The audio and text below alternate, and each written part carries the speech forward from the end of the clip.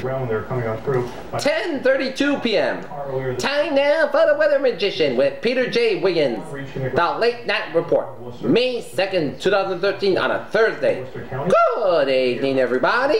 Current conditions at 10:32 p.m. on this Thursday night. May 2nd, 2013, temperature 49 degrees with a humidity of 71%. Wind speed is calm, barometer 3.46 inches, dew point about 40 degrees, and visibly about 10 miles. Okay, let's take a look at the radar picture around New England, the radar scope, and it shows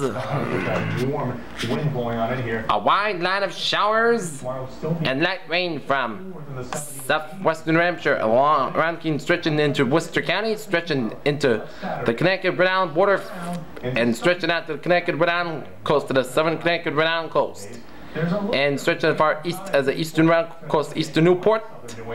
It's going to have a hard time getting through that high pressure, which means we have nice weather. Although nice weather, you know, also means high power. And a couple of little splotches of showers around. Next three days, but really throughout the seven days. The New Hampshire Maine border near north of Ossipee, northeast of Ossipee here. Perhaps your pollen count in your town is down briefly. It's going to go right back up tomorrow. So those tree pollens, when you get a wind like we had tonight, you can also... Okay.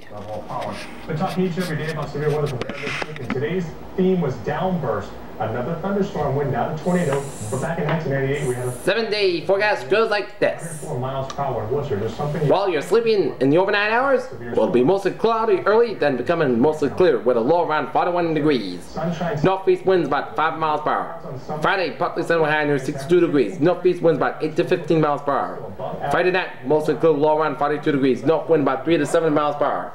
For Saturday, sunny high near 66 degrees. Light north east wind increasing to 6 to 11 miles per hour in the morning. For Saturday night, mostly cool, low around 37 degrees. East wind about 5 miles per hour, becoming calm in the evening. Sunday, sunny with high near 69 degrees. Sunday night, mostly cool, low around 39 degrees. Monday, sunny with high near 32 degrees. Monday night, mostly cool, low around 42 degrees. Tuesday, mostly with high near 75 degrees.